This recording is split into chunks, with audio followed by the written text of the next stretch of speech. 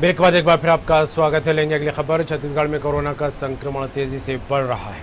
रोज़ाना प्रदेश के अलग अलग जिलों से हज़ारों नए मामले सामने आ रहे हैं। प्लाज्मा थेरेपी को लेकर इन दिनों काफ़ी असमंजस की स्थिति पैदा हो गई है। कई लोगों को ये लगने लगा है कि प्लाज्मा थेरेपी की वजह से किसी की ज़िंदगी बचाई जा सकती है। वहीं इस बात पर स्वास्थ्य मंत्री द्वारा भी यही कहा गया है कि अब तक आईसीएमआर के गाइडलाइन के अनुसार ये सिद्ध नहीं हुआ है कि प्लाज्मा थेरेपी से किसी की ज़िंदगी बचाई जा सकती है।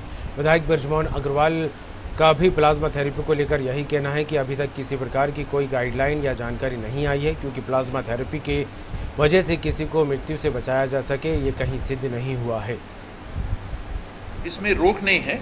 स्थिति जो है कि दुनिया में मेरी जानकारी में दो जगह प्लाज्मा थेरेपी का गहन जाँच हुआ है, एक चाइना में, एक नेदरलैंड्स में। दोनों जगह से कोई ऐसी रिपोर्ट नहीं आई है कि उसे मृत्यु को बचाने के लिए लाभ मिलता है।